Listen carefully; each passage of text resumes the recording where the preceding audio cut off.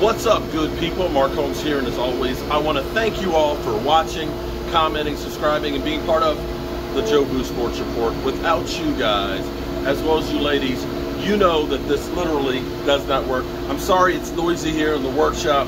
We're actually doing a bunch of things in here, but we have some news that is really a surprise and might cause a meltdown here with the Dallas Cowboys fan base. Um, as we get ready to go this weekend, they're getting ready to get the final roster stuff together. Dak Prescott, he's good to go, okay? After all the stuff that happened with Dak and everything else with the ankle and the heart attack that I had, um, he's apparently going to be fine and so on. A little soreness in his foot because of the wrong shoes. Don't use those wrong shoes, you know? Those shoes always hurt my corn. Six minutes, six minutes, six minutes, Dougie Fresh, you're on.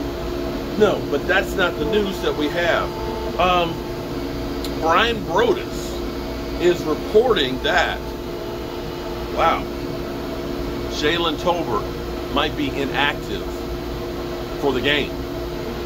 That the team is a little disappointed in how he's played um, in preseason and through training camp and may have him sitting.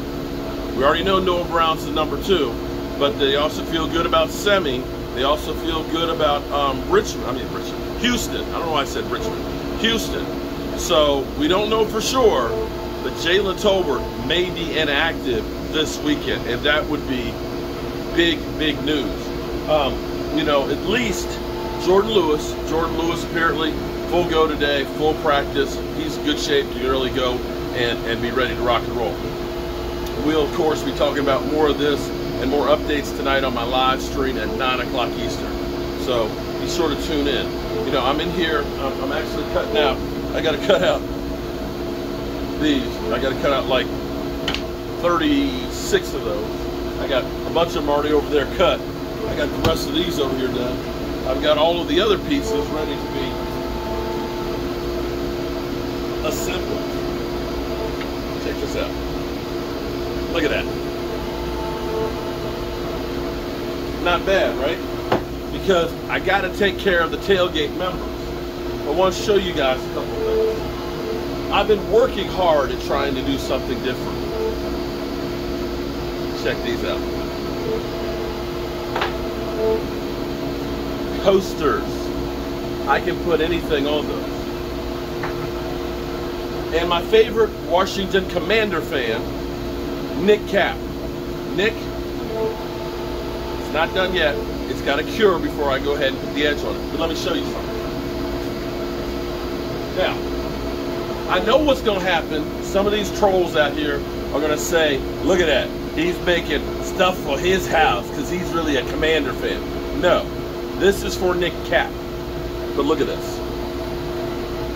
Look at that.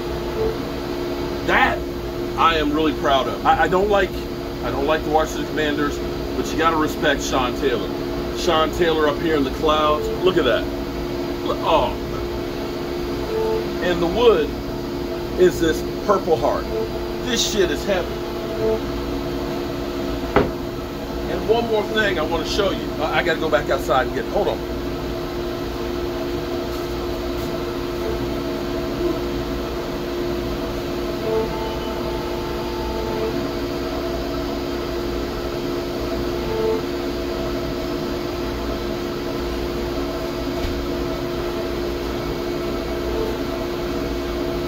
Check these out. Okay.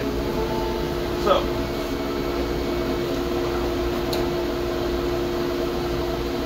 Bam. It's black. I'm going to be giving some of these away. So I can do round coasters and black ones.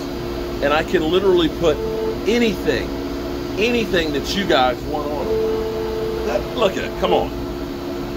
Come on. That's pretty cool. You know, it's funny.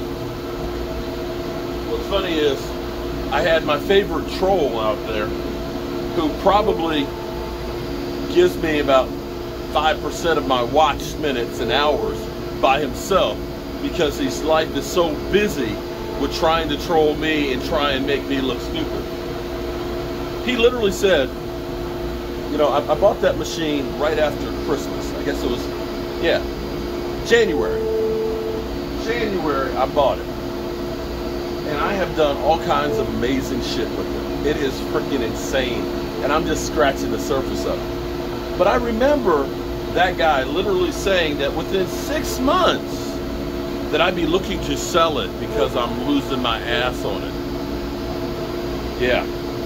More of the bullshit crap that has been proven wrong by an idiot. It's kind of sad that a person's life is so obsessed with somebody else that they're not living their own. Oh well. I'm gonna do me. I'm gonna look out for you guys. So I got some wood I gotta cut. See you in a bit.